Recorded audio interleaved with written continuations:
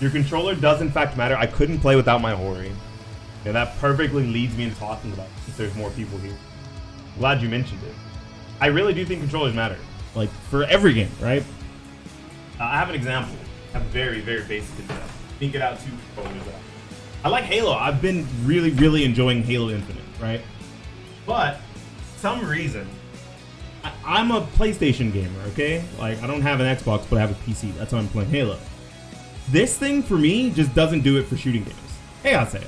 This thing, for me, just does not do it for shooting games. I am a bigger fan of... Boom the Xbox controller. I like the off-center, the asymmetrical stick layout for shooting games. Right? I for some reason I just find this significantly more ergonomic when it comes to using a controller for shooting games.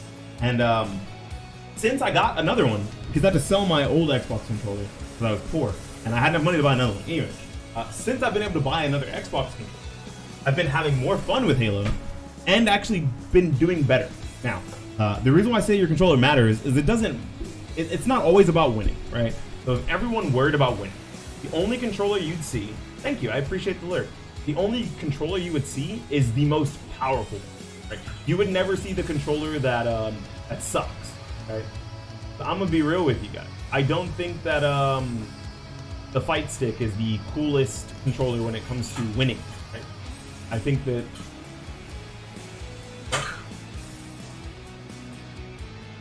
Uh, hold on. I'm trying to get this thing to load in.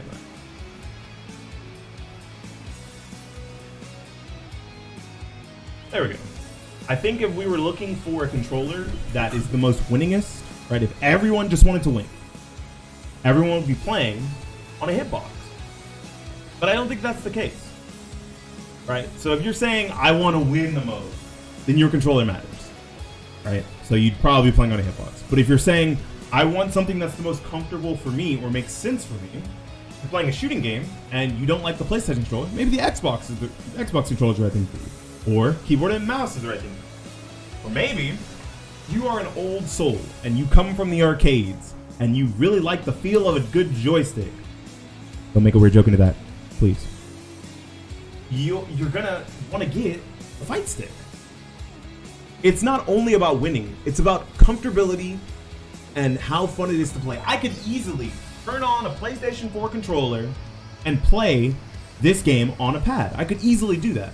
But part of playing Soul Calibur 6 for me, part of playing all fighting games for me, is the fun.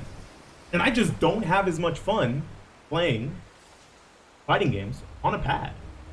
Right? There are specialty, there are cool pads that some people like more than the regular DualShock 4. For example, uh, you mentioned your Hori Soul of Ki, right? Are you talking about the Hori Fighting Commander Octa? Um, here's the old one. This is the Hori Fighting Commander. This exists for people who want six buttons on the face and a good D-pad because the PS4 doesn't really give you that. Imagine playing games for fun. See, so either way, my topic of fighting games, my topic of controller matters. I have that pad. It's a good pad. I played on that pad before I got a fight stick. When Soul Calibur 6 came out, I told myself, I'm really diving back in. I want to play this game, and I want to play this game in a way I enjoy. So I bought this fight stick. Otherwise, I would have stayed on the Hori Fighting Commander. I still have it. I won't get rid of it. I do not like having a stick on my pad. That's why I got the Hori. I just couldn't do a regular DualShock 4 and yet. Right, so controller matters for every walk of gaming. It doesn't matter if you're playing for fun, doesn't matter if you're playing for efficiency, it doesn't matter if you're playing to win, doesn't matter if you're playing for comfortability. You look at all of those different things, your controller matters for one reason or another. The said person. I could easily, like I said, plug in this this Hori Fighting Commander and play on it. And do, I don't know, let's do a combo on my stick. Let's do uh let's do a stick lethal combo, right? We could easily do this combo on pad. Right? Let's plug this bad boy in. Let's plug in this pad. I also have a Razer Raion. I like it a lot. Yes, it's called the Razer Raion. I think that pad's pretty good. I was gonna pick one up. Um, but I was like, no, I barely even use my Hori Fighting Commander. I could easily do that same combo uh, if I could first reset.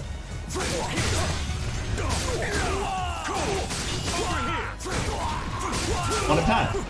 Just as easily, I could do that on a pad. But did I have as much fun? No.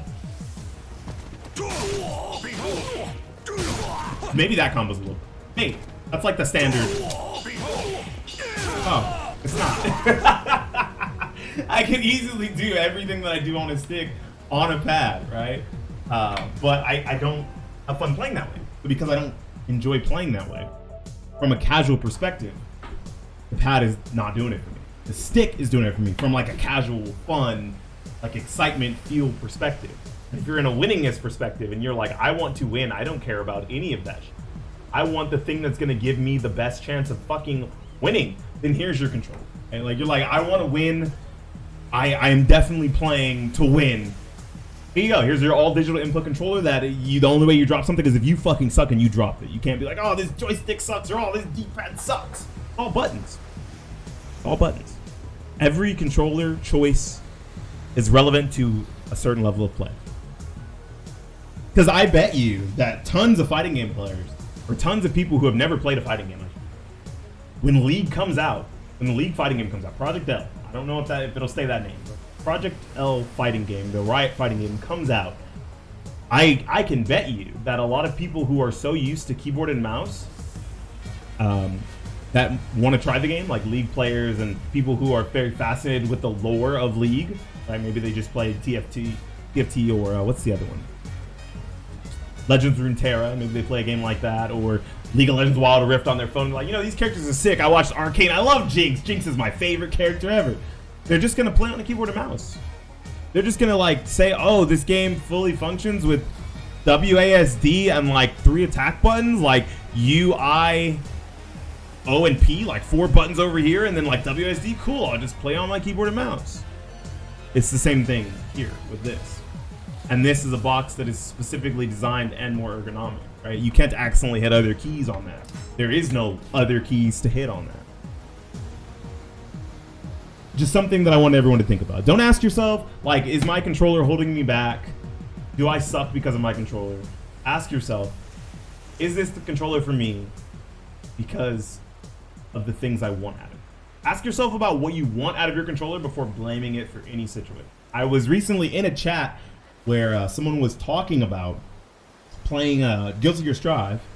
They were talking about playing Chip, and they're like, "Well, Chip sucks. Like this character is very hard to win with. Not to mention, I'm on a DualShock Five or a DualSense a DualSense controller."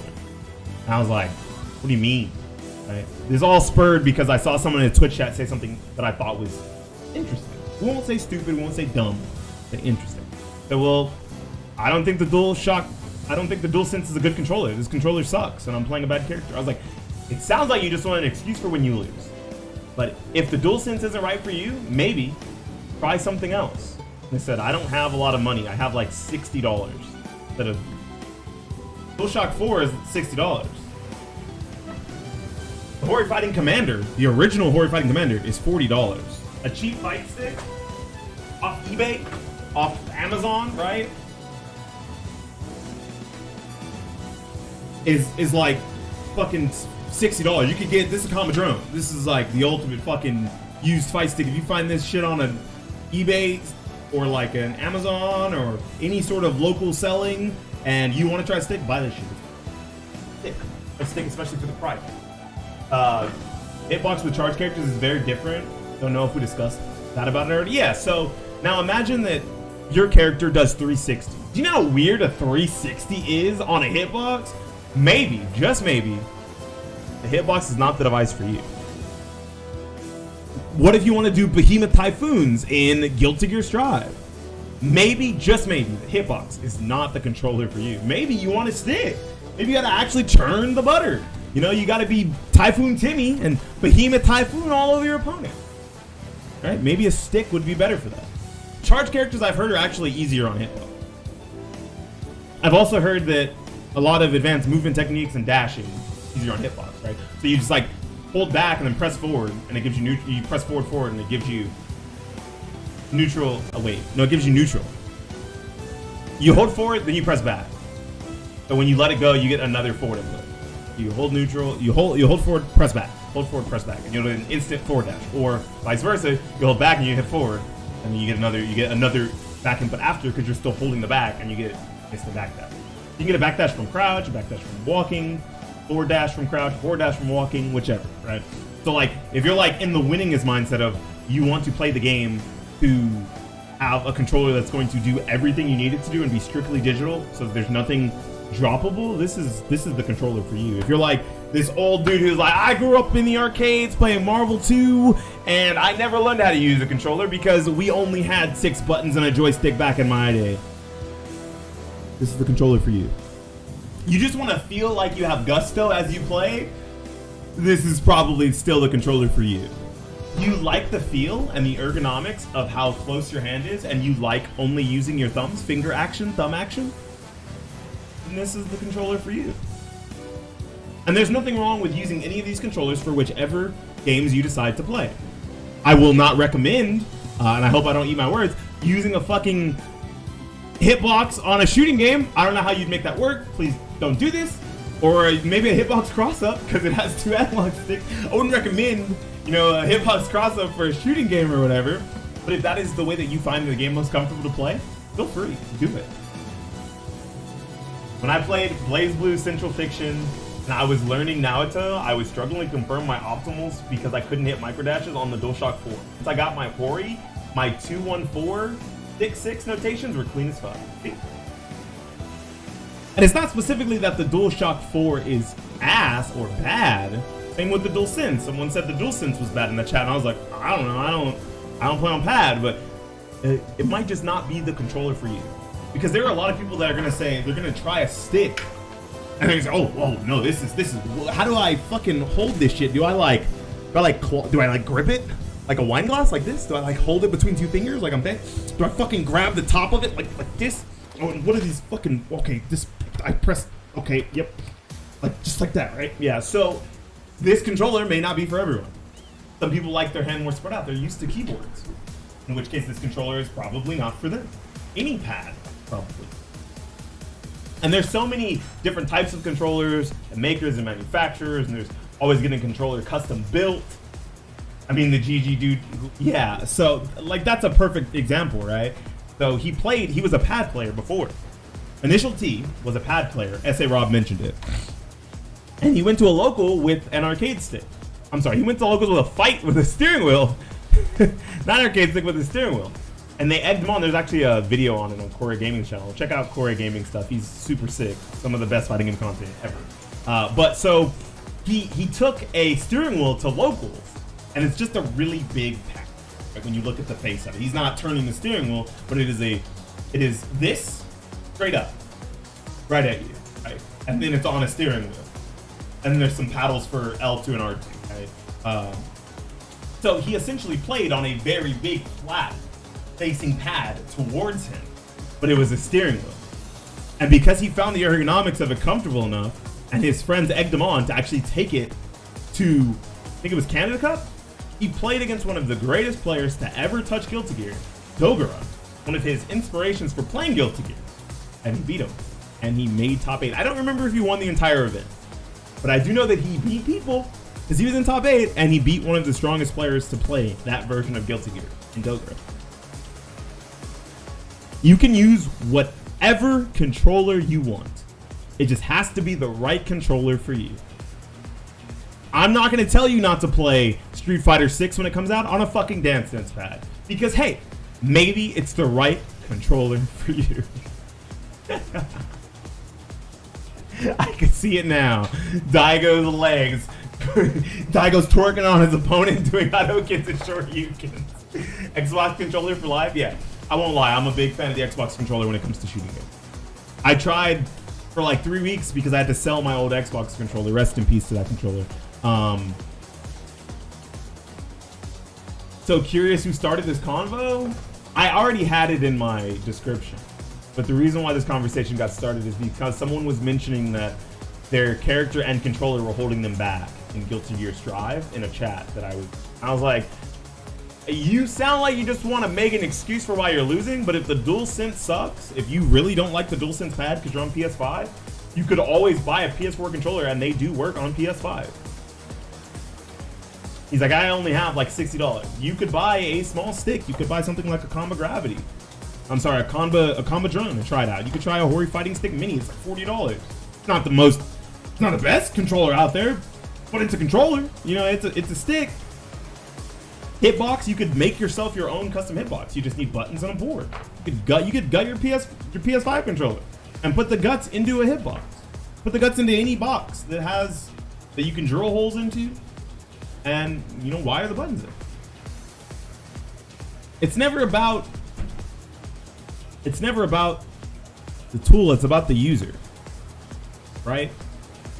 when it comes to fighting games at least or gaming in general like there could be someone out there who fucking loves this controller for shooting games i don't so i'm not gonna say oh yeah the DualShock 4 fucking sucks controller trash so bad i'm not gonna do that i'm gonna say it's bad for me right i want to try a hitbox one day like honestly legitimately i want to try a hitbox i might make it a donation goal closer to my birthday and hopefully you guys just buy me a fucking hitbox cool nice it may not be the controller for me it may not, right? It it is technically the most competitive controller. But man, do I fucking love doing quarter circles and Z motions and, and half circles with, with my joystick. I fucking love this. That's that's why I play fighting games. I play every fighting game that I play on stick, including games that aren't really meant for like NRS games. I have no reason to play an NRS game on a fucking stick, but I do it because this is how I enjoy fighting games.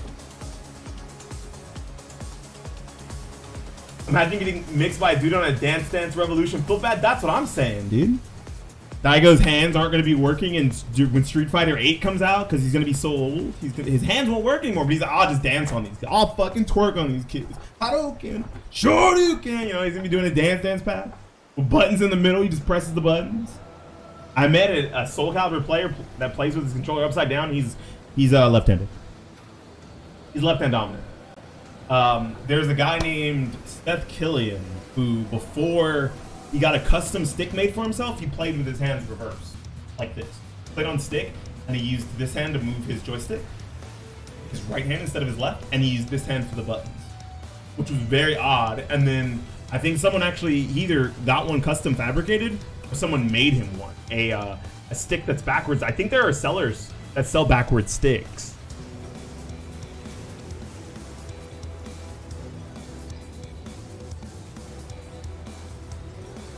Yeah, Keycade. I believe it's Keycade. I believe they make um, backwards controllers, right? So view all. So they have, you know, here it is right here. This is the reverse one. There it is. They have like normal size, right? They have normal normal direction, which is what most of you guys would see when you see a hitbox or a joystick or, or a mix box right here, in normal. And then they have them backwards. For people who want to use the um, the face buttons on their left hand.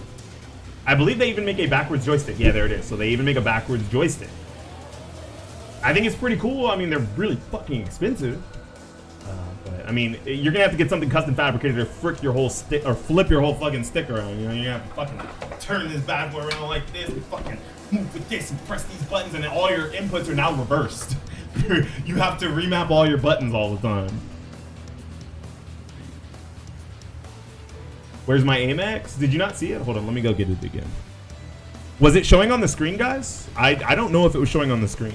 But you see, there's so many different forms of controllers and stuff. Like, there's a controller out there for you for whatever game you want to play. Right? I suck at Tekken movement, and I heard that Hitbox makes Tekken's movement easier. So even if I don't play Hitbox for every game that I play, when Tekken 8 comes out, and I'm trying to fucking twerk on people with Leroy, I want to be able to Korean backdash. And to do so, I'm probably gonna have to buy a, hitbox. I'm probably gonna have to buy and learn hitbox specifically for games with hard movement like that. Like I'm not good at the Tekken movement. Right? I'm not. Yeah, I saw it. Good. Uh, here, here they are right here. I'm not good at the Tekken movement. I'm not. But maybe with a hitbox, I will be better at it, more proficient at it. That'd be pretty cool. Anyways, this has just been a little talk for the YouTubes. The chat, say hi and bye to YouTube because that's where this is going. For the YouTubes about controllers in any game, honestly, right?